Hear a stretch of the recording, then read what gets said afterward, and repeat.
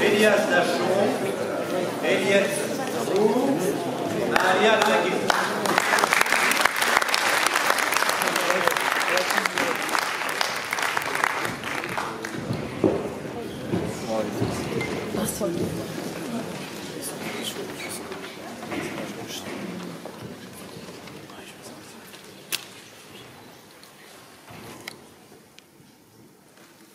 Draduce, Gaspada journaliste.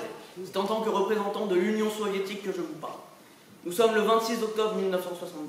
Depuis le 22 octobre, les États-Unis, dictés et aveuglés par leur paranoïa, ont instauré un blocus militaire autour de Cuba afin de contrôler les navires en direction de l'île.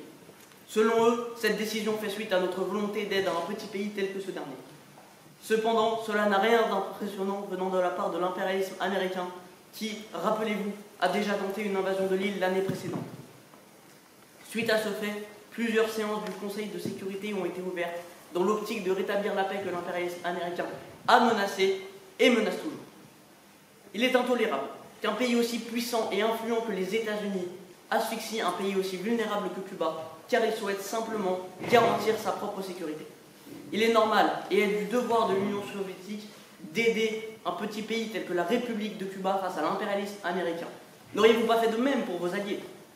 Par ailleurs, ce blocus étant fait dans les eaux internationales, il est foncièrement décevant que les États-Unis ne respectent pas la Charte des Nations Unies, ainsi que le droit international.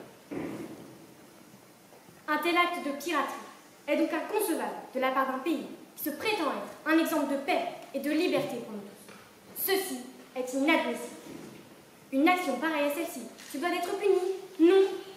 Rappelez-vous, Cuba est une petite île sans défense, sans armement, qui peine à faire face aux plus grandes puissances occupant notre monde, et qui est, de plus, sujette à l'oppression et assiégée par l'impérialisme américain.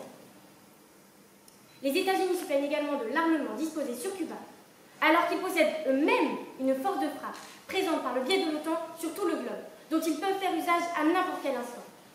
N'est-ce pas outrageant que de crier à l'agression alors que l'on écrase le monde de sa supériorité?